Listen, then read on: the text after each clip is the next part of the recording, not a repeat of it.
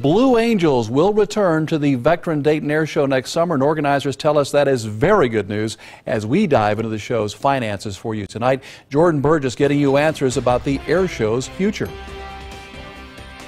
We've learned the air show actually lost money this year as attendance plummeted. So we're asking tonight if the return of a jet team like the Blue Angels will be enough to turn those numbers around.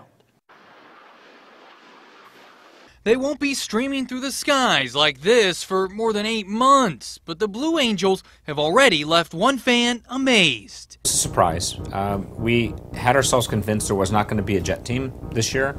Dayton Air Show Chairman Michael Emoff says the Blue Angels will fly a limited schedule next year, which includes Dayton. The military's jet teams were grounded this year because of sequestration. And this is one of the top recruiting tools for the Navy and the Air Force. And so having this go away is, is creating this void that, you know, uh, 14 years from now, it, it may have an effect that we don't even know how bad of an effect it has. But you can measure the effect it had on this year's show, which saw attendance drop to 23,000.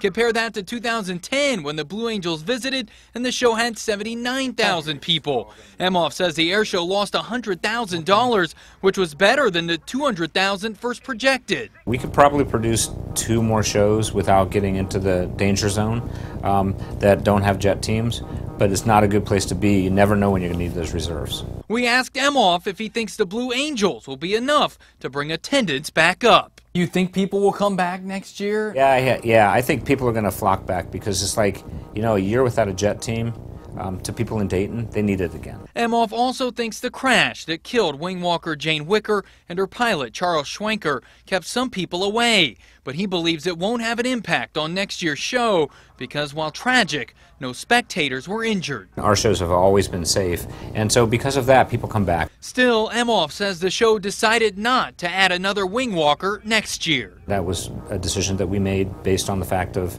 um, you know, what people may remember from last year. Now, the air show is scheduled for June 28th and 29th. Now, the sequester also kept Wright-Patterson Air Force Base planes and personnel from participating in this past air show. Emoff says it's too early to tell if they'll be allowed at next year's show, but he's hopeful they will be. Jordan Burgess, 2 News, working for you.